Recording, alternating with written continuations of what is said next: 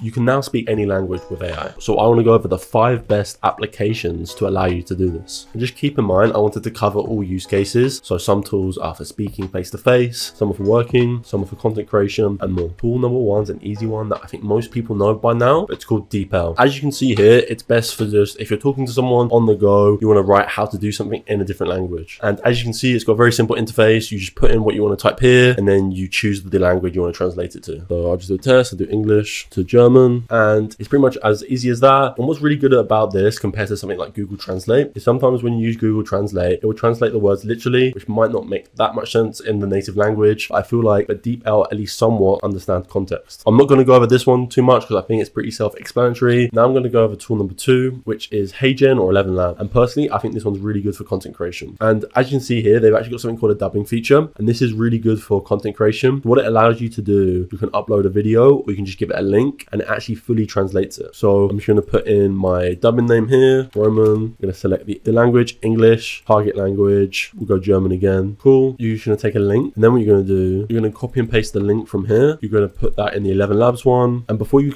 export, you can go to advanced settings. You can look at number of speakers. And actually what they do is they clone your voice. So it sounds like it's you speaking in that native language, which I think is really cool. Um, so that's why it says number of speakers in case there's three people. So it's to clone three different voices. Uh, video resolution, I think self-explanatory. And then you can add some time for it. So I'm just to do a short one just so it's quick and easy to export. So let's put zero, zero, zero to zero, zero, one. So this is hours, minutes, seconds. I'm just doing from zero to one minute. It's done. So let's see how, how it did. Personally, I don't speak German, but I've used this tool before and showed it to people that do. And apparently it works pretty well. And before we move on to tool number three, I will just give a quick note to HeyGen as a little bonus tool. It's pretty much just using 11 Labs and I found it to be a little bit more expensive. Personally, while we're speaking about content creation tools for translation, um, I think I should mention HeyGen because I think they're the first ones to up over this. But personally, I've always found 11 Labs the best and cheapest to use. As you can see here, they're even powered by 11 Labs. Tool number three is some live translation by Samsung phone. With tool four and five, I'm going to be looking into live translation. So ways you can speak and automatically translate as you speak. This one's a little bit more futuristic and there aren't really too many products that do this right now. I've noticed two great applications in this field. One is built into the new Galaxy phone, which I'll, I'll look at now, and I'll show you the other one after, which is a little bit more free and open source.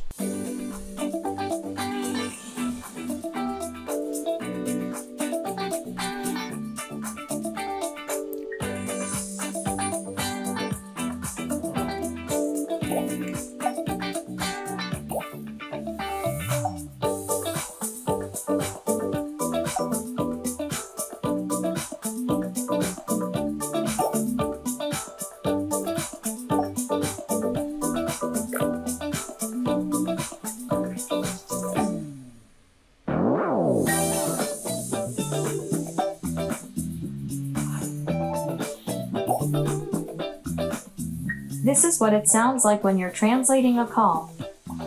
This is what it sounds like when you're tra- This one looks proper crazy and I'm really excited to see the future of this. We did see a little bit of something like this with the AI pen. Yeah, I just think this looks super cool. translating a call.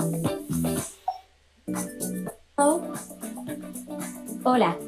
Esta llamada se está traduciendo y subtitulando de forma simultánea. I'm not going to show you the full video because I think it's pretty self-explanatory, but just to show it looks pretty cool. The next tool is actually done by Meta and they've open sourced it, which kind of does the same thing where you speak in into a video and it translates it live. You can see a few demos here, which Hugging Face, you can usually use it for free, but they've actually got like a personal demo page, as you can see here, where it translates the video live and it tries to emulate the tone of how you're speaking, which looks really cool. The next tool we're going to look at is Text Cortex and this one's the best for while you're working. So you can actually download a extension and by going to Google, typing in Text Cortex extension, get add extension. And with this, you can have an extension that helps you wherever you work. So let me give you an, an example on Gmail. Let's say I want to write a message. I want to say hello. So let's say I'm writing a message to my friend in Germany. I will say, hello, nice to meet you. Sorry about the message. I wasn't really sure what to say. And then as you can see here, now I've got these features that let me translate anything. So I'm just going to highlight it, click these buttons here, and then go to translate, go to German. Then I just copy it and paste it. And again, this doesn't have to be just for Gmail. It's got tons of different use cases. Another thing I want to show you about Text Cortex is if you actually go to their website and you use Zeno, you can actually ask their model about how to say things in a different language. So for example, how can I